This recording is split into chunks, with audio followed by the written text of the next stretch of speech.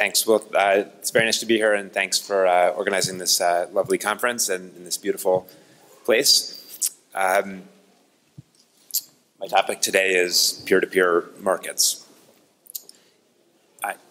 In 1995, eBay famously got started when Pierre Omidyar auctioned off a broken laser pointer and sold it for $14.83. What's delightful about that story, apart from the fact that it was a broken laser pointer, is that it shows how the internet made it so much easier for buyers and sellers who were located at different dispersed places and might not have known of each other's existence to find each other and reach uh, productive exchanges. And since that happened, and eBay, of course, was one of the first peer-to-peer -peer marketplaces, uh, there have been, you know, as uh, John already mentioned, quite a, a, huge explosion of these types of peer-to-peer -peer businesses, starting with different kinds of marketplace businesses like eBay or Etsy for crafts or StubHub or consumer finance platforms like Prosper or Lending Club, online labor markets like Elance or Odesk, uh, and now, you know, more recently, uh, companies like, like Uber and other on-demand services that are using mobile technology as well as just the internet to, to deliver uh, a peer-to-peer type of uh, uh, business services.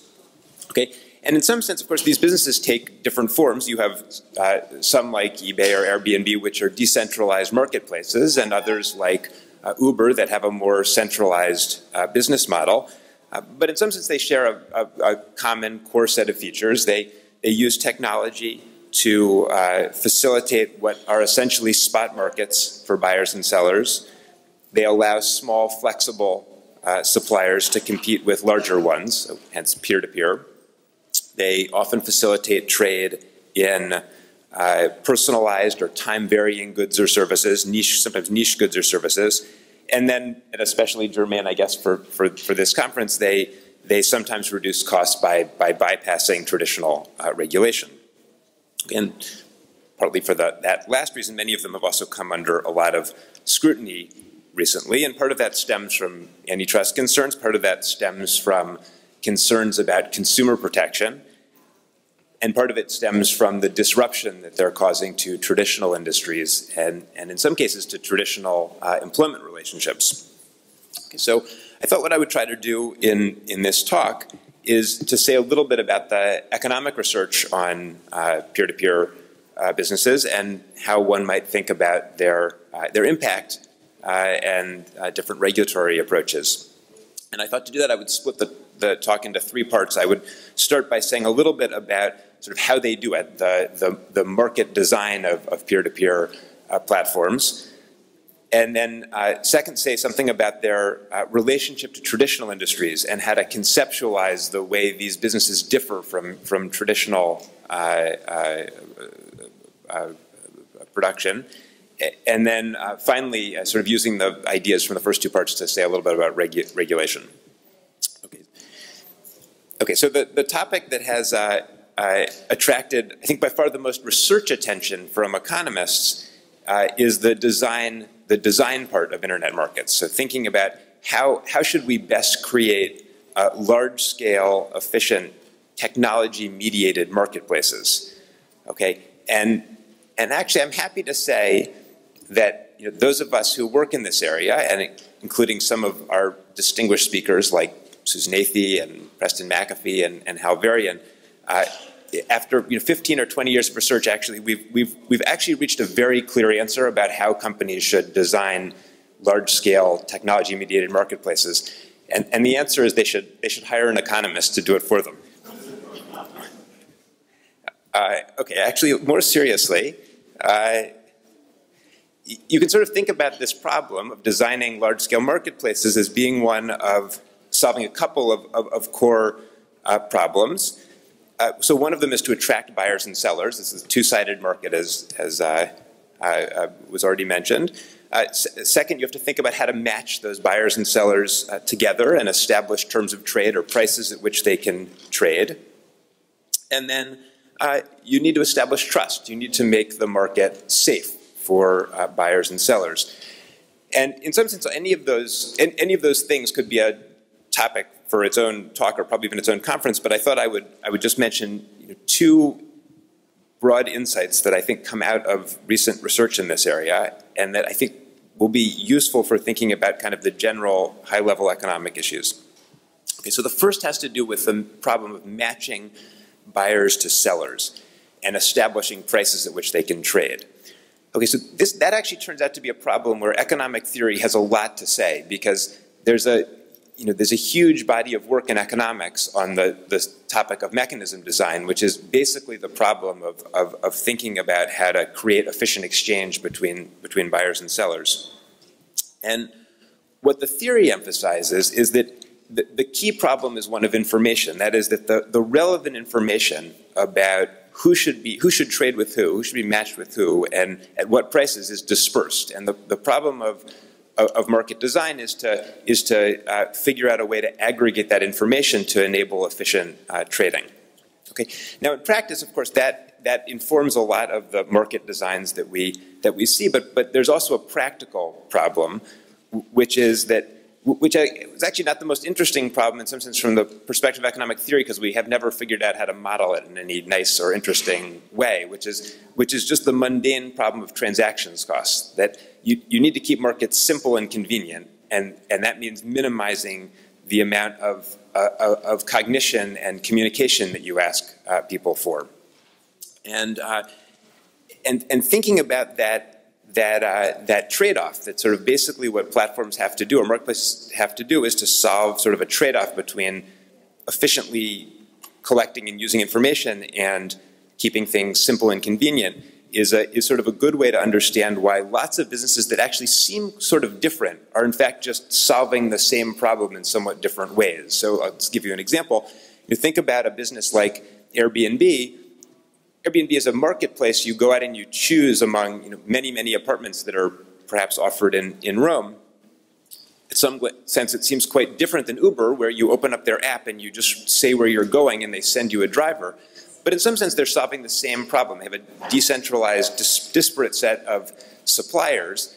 And on, in the one Airbnb case, they're asking, they're collecting more information from you. They're letting you pick exactly which apartment you want giving up some convenience because it's sort of a pain to search through all those apartments. And in the other case, Uber, they're just treating all the drivers as the same. And, and they're picking the driver for you, which of course doesn't elicit your preferences over, you know, I'd like this driver or that driver, but it makes it very convenient. And similarly for the drivers, they let the drivers veto riders based on their reputation, but they don't let them veto their destination.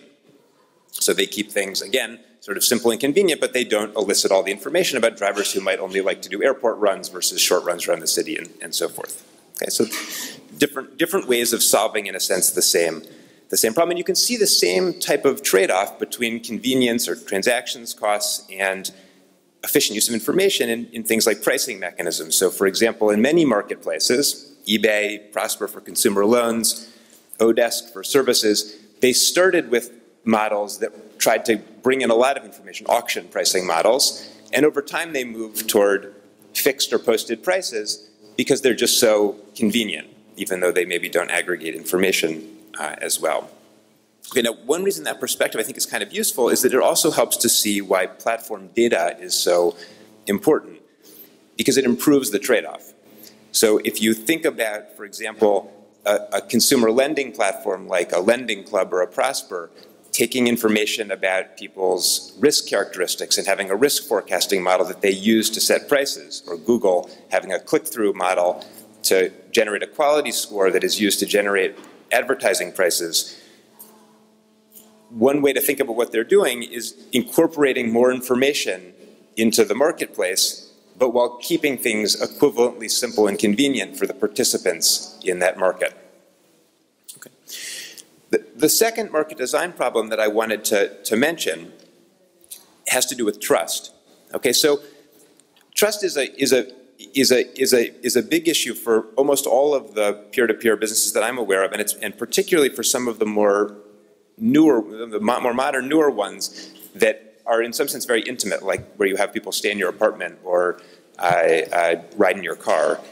And uh, and you could imagine actually the trust problem making those sorts of businesses basically uh, infeasible. if you thought about how you would solve the problem of uh, making that kind of service uh, safe for the buyers and sellers, you, you, could imagine that there would be two approaches. So one approach would be uh, a, an ex ante approach, where you carefully screened all of the participants in the market to make sure that they were trustworthy and that they weren't going to create problems. Okay. The, the, the, other would be an ex post approach, where you let a million flowers bloom and then you uh, collect information to see if people are violating your expectations about how they should uh, behave by using a reputation or review uh, system. And in some sense, a priori, if you had asked people I, in you know 20 years ago when the internet was starting, which of these approaches would be the uh, approach that would win out, that would make sense? I don't know that there would have been an obvious uh, answer. In fact, it, you, people were, I think many people, certainly many economists, were probably surprised in 1995 when it turned out that you could actually send money across the United States, and a week later, the thing that you'd seen on the internet would show up more or less as you expected it. Nowadays, of course, we just take it for granted that that will happen. But um, that would not necessarily have been, you know, a priori obvious, I think. And, and, and I think one interesting thing we can take from that actually has to do with, and this is going to come back in a minute when I talk about regulation, has to do with this choice between ex ante and ex post systems. Because in fact, what most peer-to-peer, many peer-to-peer businesses have done is they, they rely, they, they do do some light upfront screening. So there is some ex ante assurance of, of trust and, and, quality, but much of it is relying on ex post mechanisms. And I know there's going to be a session later on reputation mechanisms, and, I, and actually I, I, will bet that one of the things you'll hear in that session is some discussion of all of the problems that those systems have, that, that there are incentives for fraud, that, that people don't have incentives to post reviews, or they have too much incentive to post reviews, or they have incentive to post good reviews for themselves and bad reviews for other people, and all kinds of you know problems. And of course, those problems do exist. But I think to first order, what is really striking is how well those mechanisms seem to work to the extent you know that many people you know are, are willing you know these days just to hop in someone else's car or or stay in their apartment or have them come over and clean out their garage based on an internet advertisement or even come over and take care of their uh, children uh, without worrying uh, all that much. Not everybody has random people off the internet take care of their children. Uh, okay, so um, okay, so so uh, one more thing about the market design uh, piece that I think is interesting. So some of these market design choices that, that firms have made have, have become subject to regulatory and antitrust scrutiny. And, and I think, you know, I don't have much to say about that, and it's going to come up later in the conference, I bet. But um, I think one thing that's interesting about that is, in some sense, it's tempting to view a lot of market design choices that platforms make as being strategic. That is, that, that they're attempting to foreclose rivals, that they're trying to unfairly take advantage of buyers and sellers. And I think one thing that's sort of useful to keep in mind is that that may be true in some cases, of course, but that in many cases, the sort of first order objective for platforms almost certainly has to be to make the market more efficient. And from that perspective, you can see that some, some practices, market design practices or policies that have become subject to scrutiny or criticism do actually have good efficiency rationales. Let's give you two examples. So one is the, both involve Uber. So, so one is Uber's use of surge pricing, which is making prices high during periods of peak demand. That's come in for a lot of criticisms because people view it as unfair that uh, someone who really needs a ride at a time of peak demand has to pay more. It, it, it's not like it used to be in taxis. But of course, it has a very natural efficiency rationale, which is that by making prices high when there's a lot of demand, you better balance demand and supply in the market. Similar point goes to thinking about the two-sided reviews that companies like Uber and Airbnb use. If you read the newspapers, you often occasionally see people uh, upset about the idea that as consumers are being rated by the people selling things to them. They're not used to that. And um, it seems invasive. Uh, but at the same time, there, there is a natural reason why you would want to do that as a platform, which is that there's a trust problem also for the people who have to drive you around or let you stay in their apartment. And this is there to help solve that, that trust problem. okay, so that's what I wanted to say about market design, and I'm going to move to the second point, set of points I want to make, which are, have to do with the, the relationship between peer-to-peer businesses and traditional industries. And I thought to do that, I would, um, at the risk of uh, um, scaring you off in the first talk of the day, I would introduce a very simple model, and I promise it will be a very simple model. So, um, but I, one I've sort of found useful, I think. So, uh, um, so, so here's a, here's a, a way to here's way I, one way you might think about what peer-to-peer businesses are doing in relation to traditional industries. So, so think about a world where there are two types of supply technologies. One way to, to be a, to, to supply uh, to be a, a, producer is to build dedicated capacity, which involves an upfront cost to build the capacity, but then low uh, uh, costs once you have the capacity. So you know, think, think about building a hotel. The other is that you could be a flexible supplier. You could uh, skip the upfront costs, and then you could produce uh, when your opportunity costs have, happen to be low. So think about me renting out my apartment on a weekend that I'm not uh, using it. Okay. Now, and that flexibility, by the way, seems to actually be quite an important part of, of, of recent modern, you know, on-demand service businesses like, like Uber. Uh, that, that, the suppliers seem to be care a lot about the flexibility that the platform uh, offers them. They don't have to make a big, uh, a dedicated uh, investment. Okay, I want to add two more ingredients to this model to make it an interesting model. Or, and so one, now let's, let's add some demand. Let's imagine there's demand for this product that the suppliers are producing and that it's sometimes high and sometimes low. So it's time varying or, and, and let's also assume that for sellers to uh, become visible, to make themselves uh, known to buyers, they have to make some upfront investment. So think about it as an advertising or reputational uh, barrier to, to entry. Okay, this I wrote it as F. Okay.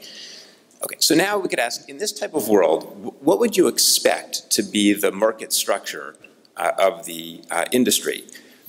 So one way you could have, one market structure you could have, and this is what will happen, for example, if uh, there are scale economies in production, uh, or very large costs of becoming visible, big reputational advertising barriers to entry, is that uh, you would expect this, the market to be dominated by dedicated sellers. They'll build capacity and then they, they sell, and when demand is low, uh, think hotel rooms in Rome in February, some of the capacity isn't utilized. When demand is high, so think hotel rooms in Rome right now, uh, all the capacity is utilized and the prices are, are high. And, and what determines the, the, the amount of capacity that gets built is a, is a, is a, is a condition that, that, that says that profits have to be enough to reimburse the costs of investment. Okay. So another type of market structure you could have, and this is one that you might think would characterize industries that have just a very little bit of demand or maybe very sporadic demand, would be one where there's, the sellers are flexible. Okay, so they don't invest much up front because there's not much demand or it only comes once in a while but there's a, some sellers around who might be willing to, to sell if, if necessary, and that's going to be probably a market with not a lot of uh, trade. Okay, and then finally, you could imagine a world where there's both kinds of, uh, uh, of sellers, where there's dedicated sellers who build capacity and always serve the market, and then there's flexible sellers who serve the market at times of high demand uh, uh, and create some uh, supply elasticity. Okay, okay, so I went into that model because now I want to think for a minute about how could we um, envision the entry, conceptualize the entry of peer-to-peer -peer marketplaces. So one way then you could think about peer-to-peer -peer marketplaces is that essentially what they do is they make investments in order to make sellers visible to buyers. So they basically create a mechanism to make many, many sellers I, I, enable many, many sellers to, to, be, to be seen and to trade with, with buyers.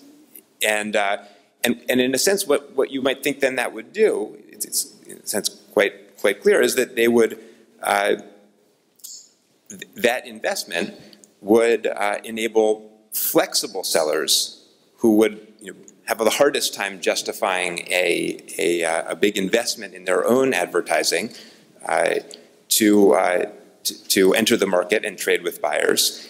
And um, it would uh, lower prices by expanding supply and therefore help consumers. It would be particularly valuable in situations where there were not large-scale economies in production, in situations where there was variable demand or niche demand or specialized or personalized demand that wasn't well served by very large capacity uh, investments.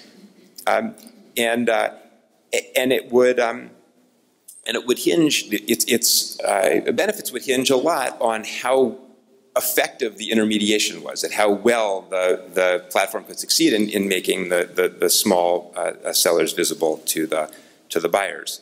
Okay.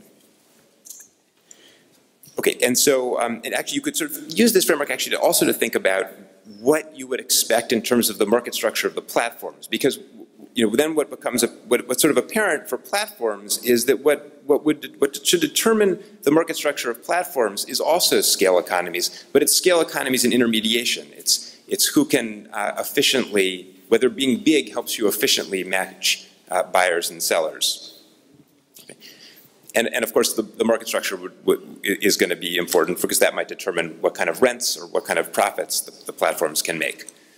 Um, oh, perfect. Okay. Okay.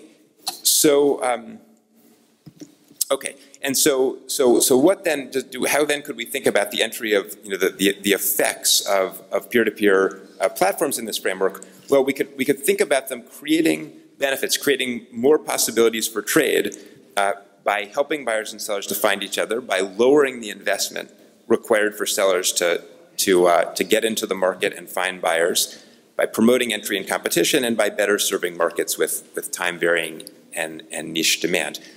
Okay, the, there, there's also, of course, the, the, I should mention the effect on incumbents.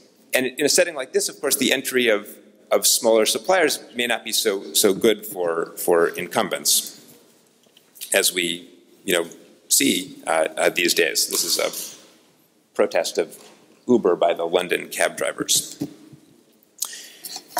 Okay, so um, okay, so now let me finally finish by making a couple points about regulation.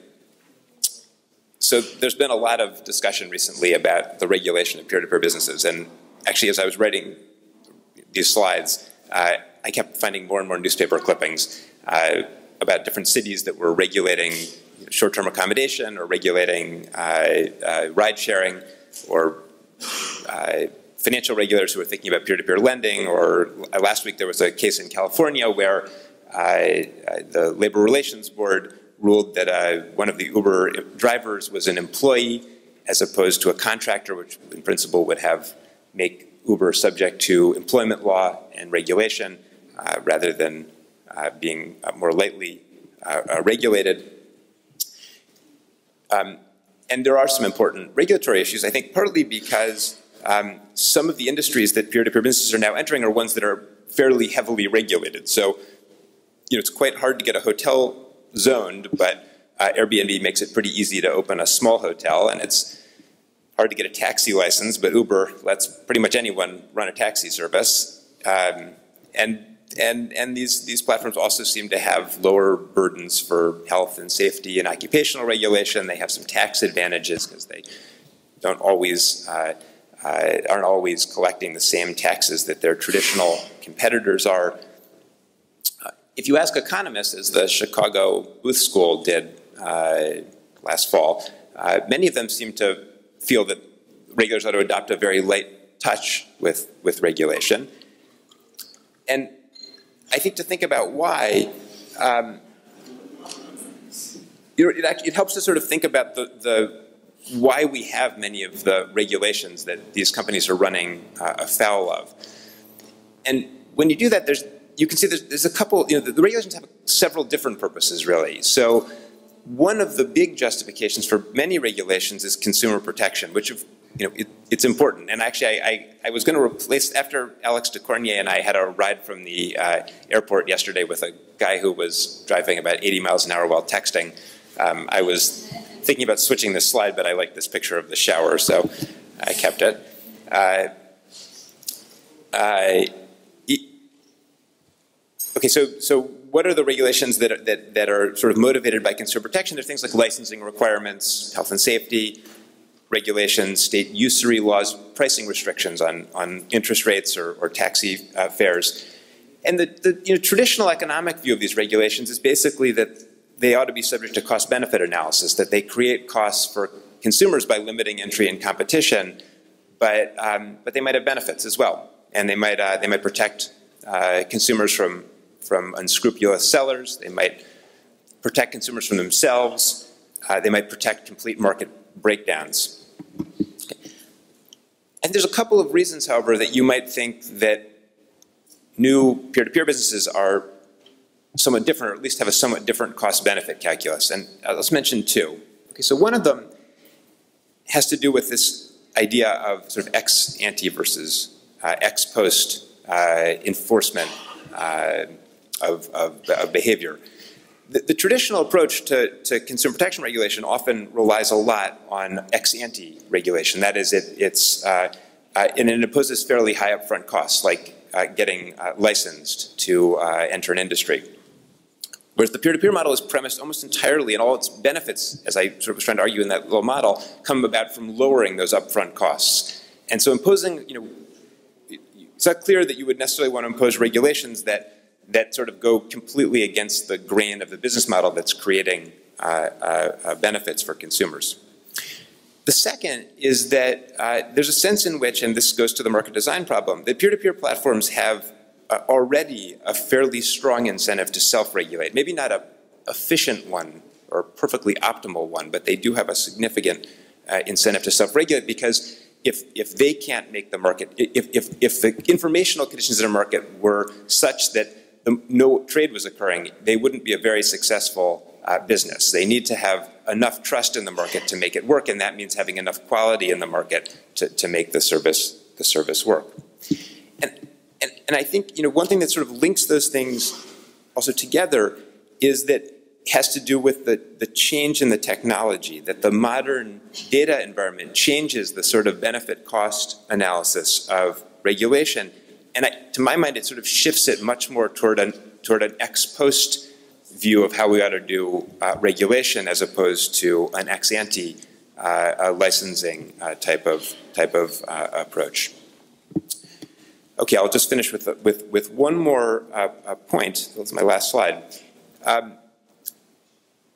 the, some of the regulations that, that are now being debated about peer-to-peer -peer markets um, are not, in fact, about consumer protection.